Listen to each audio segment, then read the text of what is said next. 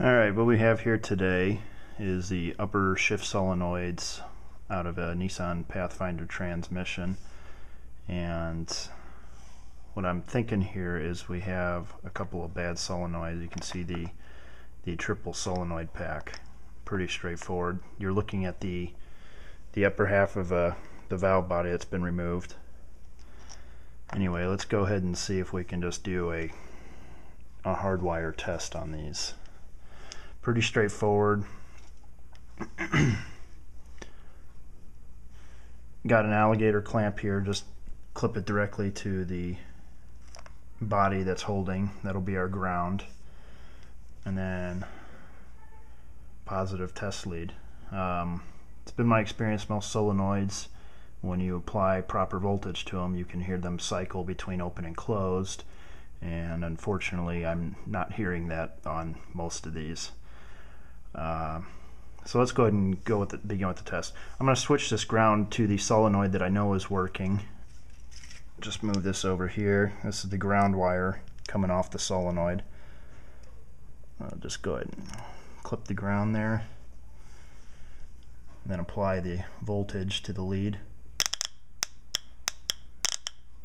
You can hear it cycle as I touch the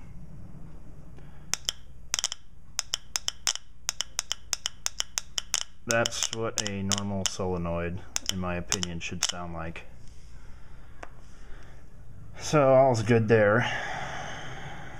We move the ground over to the other three and start testing. See the lead here. Just hit come in, hit the. I get a little bit of sound when the when the test probe actually touches the lead, that's more of just you're hearing the, the arc of the current, not necessarily the solenoid. Don't mind the traffic in the background. But nothing.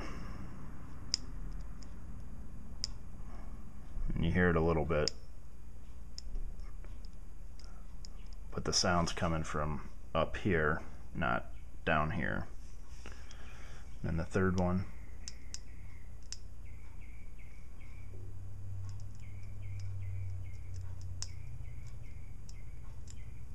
Nothing. And just one last time, switch back over to here.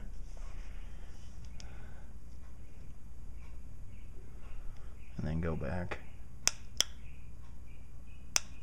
Pretty clear difference.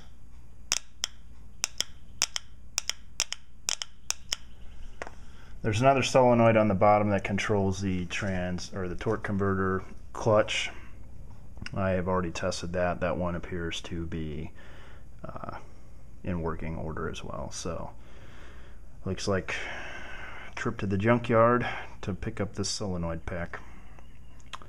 Uh, unfortunately, Nissan does sell these still, but they want $400 and they give you all the solenoids, which I clearly don't need.